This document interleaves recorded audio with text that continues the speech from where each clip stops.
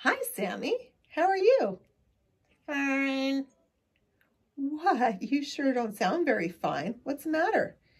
I just got the email saying that the Easter egg hunt this year is canceled. Well, there's a lot of things canceled this year. I know, but now I'm sitting around all dressed up and no place to go. Well, that's a little too sad. I, I do get it, Sammy. You know, there's no better way to spend a Saturday afternoon than to be out on the field being crushed by the crowds as you try to catch all the candy on the ground. Actually, there's probably lots of better ways to spend a Saturday afternoon. Last time, my hands got stepped on, my head got stepped on, my foot got stepped on, and some kid kicked me and went flying across the eggs. Well, that... now I just have to sit around the house bored with my bunny soap. Well, that's kind of cute. Yeah, especially now that we have to do all the hand washing. At least I have soap. You do. What else do you have? My Easter mug. Ah! That's kind of scary. And leftover chocolates from last year. I hope they're not too stale. Hopefully they're not. But Sammy, I, I know that you're a little disappointed, and I think lots of our boys and girls would be disappointed this year. Lots of families disappointed because lots of people won't be able to get together like every other year. But there's more to Easter than just Easter bunnies, chocolates, and eggs. There is? Yes, Sammy. No way. Yes, there is. And guess what? We go through this every year. I keep forgetting. Well, Easter is about more than chocolates, bunnies, and eggs. Easter is about Jesus and how he died on the cross for our sins. Yeah, maybe that's good for some people, but I ain't done nothing bad. Well, maybe one thing. Two. Three. Okay, okay, okay, okay. Well, Sammy, we have a story to read today about Easter, and it'll help remind you about some of the things that we can be thankful for and how wonderful Easter really is, whether we can spend it with other people or not. Because it's more than just about other people and our friends and family. It's about Jesus. Okay, I'm looking forward to a story. I know. The book is called The Easter Story for Children and Puppets. Oh, Good, I was worried for a second. Yeah, and it's by Max Lucado and Randy Frazee and Karen Davis Hill. And the person that did the pictures, the illustrator, is by Fausto Bianchi. Jesus was a very busy man. He worked hard to spread the word of his Father and how much God loves his people. Jesus' ministry had grown strong. His disciples loved him. The people gathered in great crowds to hear him preach. They loved him too. But not everyone was a follower of Jesus. Some people were not sure about what he said. Some priests were angry because Jesus claimed to be the Son of God. Some rulers were not sure what Jesus meant when he talked about a kingdom. Jesus knew then that it was time for his work and time on earth to be over.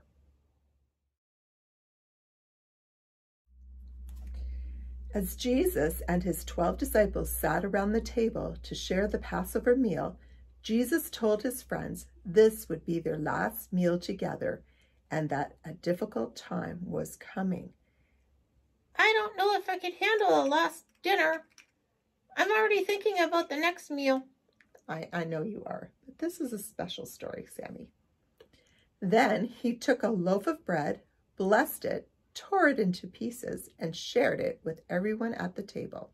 Jesus told them that the bread was like his own body that would be given for them.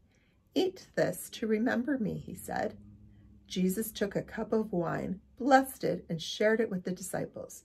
This cup of wine is a reminder of my promise to be your Savior, he said. Then Jesus told them something that made them very sad. One of you will turn against me and will give me to my enemies. Who? Who was it? Well, let's find out. Is it me? Each one asked. I would never do that, Peter protested.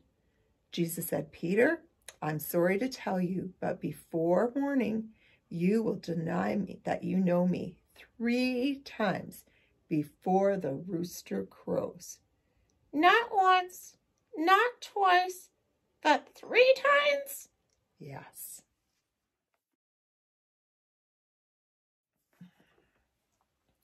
Later that night, Jesus walked to the Mount of Olives, where there was a peaceful garden.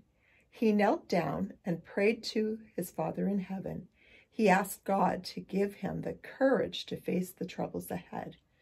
When his prayer time was over, Jesus rejoined the disciples. Suddenly, a crowd of angry men showed up the high priests, temple police, and leaders. One of Jesus' disciples, named Judas Iscariot, was with the bad men. He walked over to Jesus and kissed him. That was the signal the leader to the leaders that Jesus was the one they wanted to arrest. Judah, Judas was the traitor. The plot thickens. Yeah.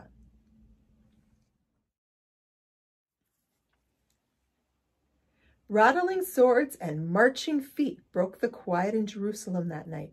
Soldiers and temple leaders hustled Jesus through the dark, sleeping city. They had Jesus tied up. They were taking him to see the city leaders, those people who did not like Jesus and his messages of love. Who couldn't like Jesus? Well, there were a lot of people back then that didn't. Each time the soldiers and Jesus turned a corner, Peter darted from behind a building. What are those soldiers going to do to Jesus? Where are they taking my Lord? If they see me, will they arrest me too? Peter wondered. The soldiers pushed through a gate and into the courtyard of the house where the high priest waited for the prisoner. Peter was close enough to watch and hear what was about to happen. He sat near the fire where the others had gathered. Peter pulled his robe over his head, hoping no one would see his face. A servant girl recognized Peter. You're with him, she said, pointing to Jesus. No, no, I don't even know that man, Peter lied. The soldiers began to make fun of Jesus, hitting and treating him badly. A soldier sitting near Peter said, Aren't you one of his disciples? Peter said, I don't know what you're talking about. Believe he did that. Well, I don't think.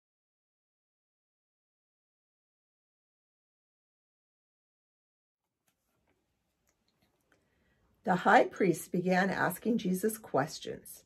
Jesus answered, Everything I've done has been set out in the open for all to see. I've taught and ministered, but not in secret. Why are you treating me like this? Just then a soldier noticed Peter near the fire. I saw you in the garden with Jesus. You are one of his disciples, he said. Peter denied it. Not me, he said. Then the courtyard rooster crowed his morning call. Ah, Jesus said that was going to happen. He did. The sound of the rooster reminded Peter's Peter of Jesus' words. You will deny me three times before the rooster crows. Peter ran out of the courtyard. He cried and cried, disappointed with himself for not being true to Jesus. People packed the streets of Jerusalem to look at Jesus. The word was all over town. Jesus had been condemned to die. He had been beaten, spit on, and made fun of. Now the soldiers whipped him forcing him to march to the place where he would be executed. What's executed? They were going to kill him. The followers of Jesus wanted him saved from the terrible punishment. Men shouted, women cried, children were sad and upset. In the middle of all the turmoil, Jesus struggled under the weight of the heavy wooden cross he was forced to carry. there was nothing anyone could do. Nothing?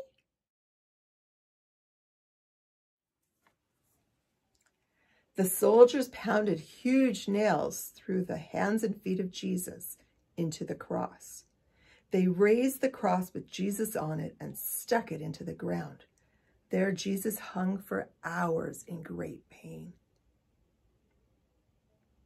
Two criminals hung on crosses next to him. Many people who loved Jesus were there for him, but many other people made fun of Jesus as he suffered. If he's the Son of God, as he says, let him save himself. They laughed. One of the criminals made fun of him too, but the other criminal believed Jesus was God's son. When your kingdom comes, will you save me? He asked Jesus. And Jesus promised to save him. The painful punishment continued for hours. Jesus' mother and disciples watched, filled with sadness at his suffering. Soon the sun stopped shining. Darkness was all around. Then Jesus cried out, It is finished. And he died. Friends of Jesus took his body and buried it in a tomb. Was that the end of Jesus? Was that the end of the story? That's a pretty sad story for Easter. It's not the end of the story, Sam. It was a sad time for all the disciples and the friends of Jesus. They cried for him and prayed together. But Jesus had one more amazing miracle to accomplish. He had told the disciples about this miracle, but they had not understood at the time. The best was yet to come. Oh, I can't wait. I can't wait. I'm getting excited. So three days passed. There was pain and sadness and crying. The disciples wondered if they would be in trouble too, but nothing happened to them. So Jesus' friends knew they had more to do. At that time, when someone died, the women poured good smelling oils on the body and wrapped it in a nice burial cloth. So Mary Magdalene, Salome, Joanna, and Mary, James's mother, headed for the tomb on Sunday morning to take care of Jesus' body. On the way, they began to talk about the tomb and what they would do when they arrived. Who will roll away the big, heavy stone for us? One of the women asked. But when they arrived, the stone had already been moved from the tomb's entrance. How did that happen? We're going to find out. Mary Magdalene ran ahead and peeked inside. He's gone, she shouted. Our Lord is gone.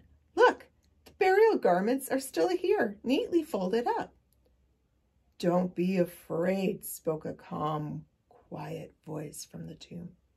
Mary Magdalene looked again and saw an angel. I know you're looking for Jesus. He's not here. He was raised from the dead, just as he promised. Now go and tell the others he is risen, the angel said. Running back to the house where the disciples had gathered, the women couldn't wait to share the great news about the Savior. But on the way, the women encountered still another surprise. No, I can't take any more surprises. What was it? They ran into Jesus himself. Good morning, Jesus said as he smiled at his friends. Lord, the women cried joyfully, dropping down to their knees and worshiping the Son of God. Go and tell the others I'll meet them in Galilee, Jesus said. The women got up and did as Jesus told them. The Lord is risen, they said over and over again as they hurried to meet the disciples and share the amazing news. Later, the disciples argued and discussed Mary Magdalene's remarkable news. I saw Jesus raised from the dead, she had told them over and over. As they talked about this wonderful news, Jesus suddenly appeared in the locked room. The disciples were shocked. The last time they saw him, he was dead. And now he's not dead, right? Right. That's the beauty about Easter. Peace be to you, Jesus said. He showed them the nail scars on his hands. He showed them the side of his body that had been cut by the soldier's sword. When the disciples realized the person in front of them really was Jesus, they were very happy. Mary had been right, and Jesus was happy to be with his friends again. He gave them a special blessing and told them he had a big job for them to do. Jesus explained to the disciples, I want you to tell everyone about the blessing that I came to give, forgiveness and life eternal for everyone who believes in me. Soon the Father will send the Holy Spirit to help you and give you strength and power. Though the disciples didn't understand everything, they understood Jesus had done what he had said. He had died and was alive again. The disciples knew that they had been chosen to do an important job. And what a job they had to do! But they were not alone. The disciples had Jesus with them for a little while longer.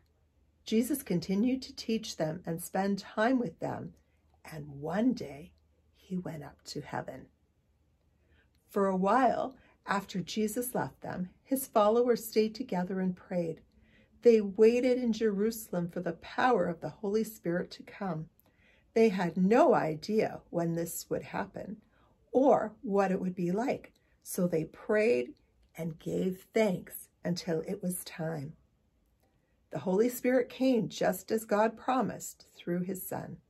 The Spirit's comfort brought them peace. The Spirit's power filled them with courage the disciples were able to perform miracles in God's name. And they went out to tell the world that the Messiah had come. The end. Actually, Sammy, it's not the end.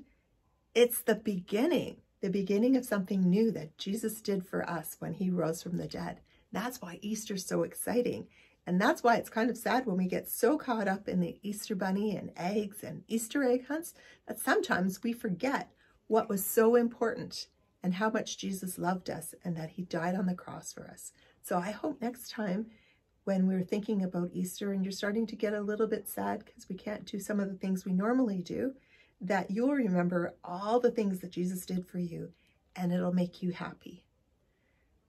I'm so glad to know this. And it will make a difference, especially when we can't do some of the things we've been planning to do all along.